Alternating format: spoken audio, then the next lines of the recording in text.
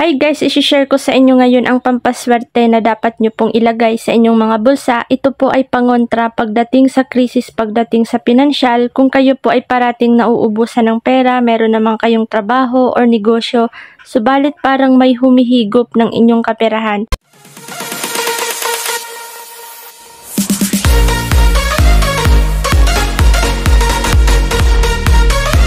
Bago ka pa lang sa aking channel, i-click mo lang ang subscribe button at i-hit ang notification bell para lagi kang ma-notify sa mga susunod kong video.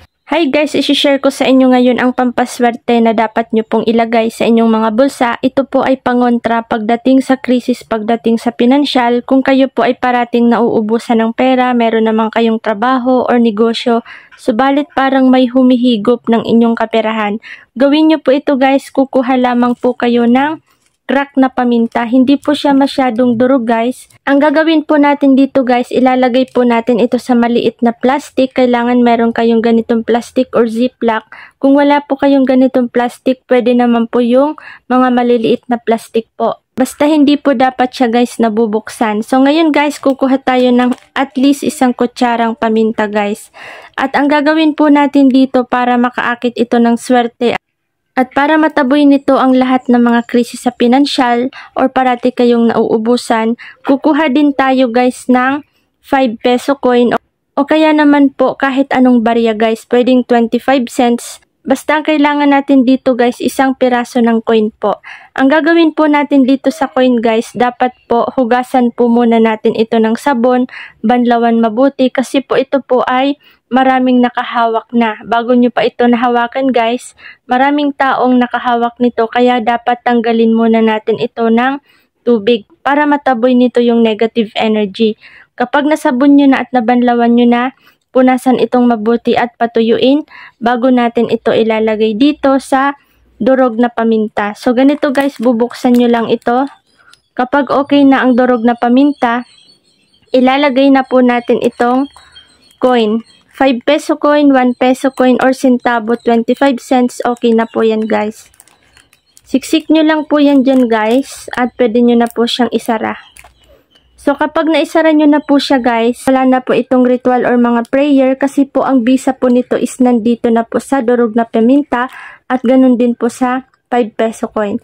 Bakit nga ba 5 peso coin at durog na paminta? Kasi guys, ang 5 peso coin sumisimbolo yan ng pera na darating sa inyo at ganun din ang paminta kumukontra lahat ng mga kamalasan or krisis sa pinansyal, sa trabaho or negosyo para makontra nito ang lahat na negative na mangyayari sa inyong pinansyal.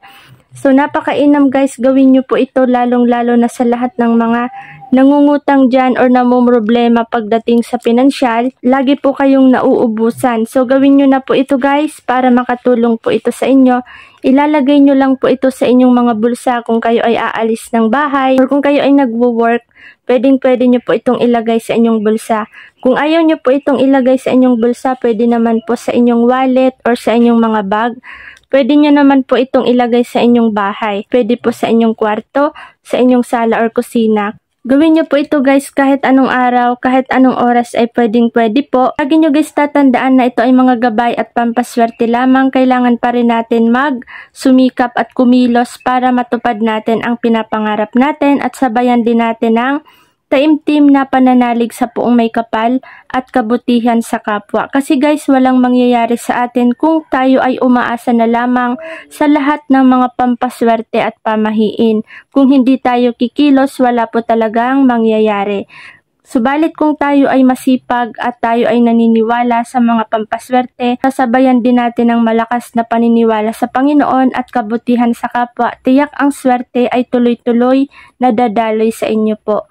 So yan lamang guys, marami pa po ako mga pampaswerteng ibabahagi sa inyo. Maraming salamat po at hanggang dito na lamang. Hi guys, isishare ko po sa inyo ngayon ang pampaswerte na dapat nyo pong ilagay sa inyong mga pitaka. Ito po ay nag-a-attract ng maraming customer. Swerte din po ito sa negosyo at sa inyong trabaho. So ito po guys ay kailangan nyo pong ilagay palagi sa inyong mga wallet. Share ko sa inyo guys kung bakit sinaswerte ang aking wallet sa kadahilanan na meron po akong sikretong nilalagay dito. Ito po guys yung mga original gemstones or crystals.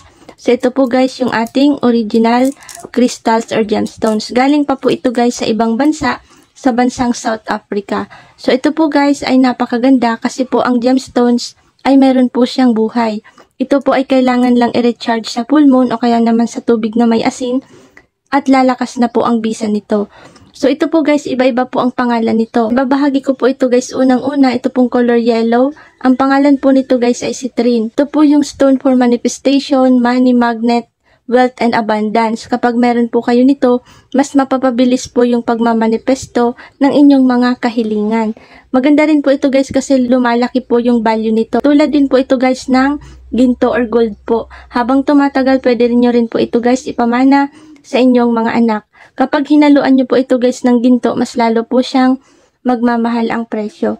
At ito naman po guys, kulay puti is clear quartz. Ang clear quartz po, maganda po ito, anti-radiation. Ito rin po ay nag-a-amplify ng money. Ibig sabihin, money booster din siya.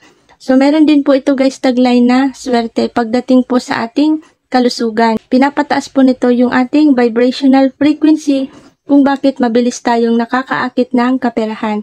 At ito naman guys, pink is rose quartz. Stone for love po ito guys. Pwedeng pwede po ito sa may mga karelasyon. Magandang maganda po ito guys sa samahan kasi nagbabibrate po ito ng love, joy, and happiness. At maganda rin po ito sa inyong negosyo. Mabilis po itong mag-attract ng maraming customers. At ito naman po guys, color green is green aventurine. Maganda po ito guys sa inyong tindahan. Tinatawag din po itong stone for money. At maganda rin po ito guys kung mahilig po kayong magsugal. Maganda po ito sa mga pagtataya. Samahan nyo lang po ito guys ng tiger's eye sa inyong pagtataya. At ito naman guys, tiger's eye kulay brown, stone for protection, at maganda rin po itong money magnet. Ito guys, nagkokontra po ito ng mga inggit, krisis sa pinansyal, kung mayroong mga mangyayaring kagipitan, kinokontra po ng tiger's eye. So, napakaganda po nito. At ito naman po guys, medyo purple. Ito po yung amethyst. Ang amethyst po guys is napakaganda po nito pagdating sa ating kalusugan kasi nagtataboy po ito ng mga stress at depression. Maganda rin po ito sa kapirahan. Nagbibigay ng balanse. So yan po yung tinatawag po guys sa aming 6 luckiest crystals. So marami na rin po yung nakaabil sa amin nito at marami rin po yung mga tumatawag sa amin at nagpapasalamat dahil napakabisa ng aming crystals. Ito po guys ay available sa aming Shopee store. Search nyo na lang po yung aming store guys. Ito po yung nakalagay na store namin. Infinite Gems po guys. Hanapin nyo lang po yan. Dati po ito guys, 1,500. Ngayon po ay nakasale po kami ng 50% off. Ngayon po guys is 750 na lang po ito. So avail na po kayo guys kasi limited lang po ito. Meron lang po tayong 15 pieces nito guys. So, anahan na lang po kayo guys kasi limited slots na lang po ito. Malapit na po itong ma-sold out. So, yan guys, ilagay nyo lang po ito sa inyong wallet. Pwede nyo po itong ilagay sa balot na plastic kasi meron na po kaming lalagyan na plastic. So, yan. Kapag order po pala kayo nito guys, pwede nyo itong hugasan kaagad at patuyuin at ilagay po agad sa inyong red pouch. At pwede nyo na po ito guys ilagay sa inyong wallet. So, depende po sa inyo guys kung gusto nyo pong ilagay dito or dito sa mga pouch. So, lagay nyo po yan dyan guys palagi at aalisin nyo lang po siya guys kung i-recharge nyo po siya sa tubig na may asin sa loob ng 24 hours o kaya naman sa full moon. Maganda po ito guys kasi meron na po kayong libreng red pouch at meron na din po kayong box na itim. So yan guys is libre na po itong box at itong red pouch. 750 pesos lang po ito guys. Lifetime nyo na pong pampaswerte sa inyong wallet. Pwede nyo pa pong ipamana sa inyong mga anak or apo. Hindi po ito katulad ng mga ilang pampaswerte na nabubulok. Ito po ay lifetime na po. So yan guys, kung nais nyo pong mag-avail nito sa aming direct order po, tumawag lang po kayo sa cellphone number namin na 0910-025-7566. Yan po guys yung direct order namin. Ang payment po niyan is via Gcash or Palawan, Cebuana, or Paymaya. At pwede rin po kayo guys mag-order sa amin Shopee store. Search nyo lang po yung store namin sa Shopee. Infinite Gems po guys. Hanapin nyo lang po yan sa Shopee para mabilis nyo pong mahanap. At ilalagay ko rin po yung link nito dito sa comment section.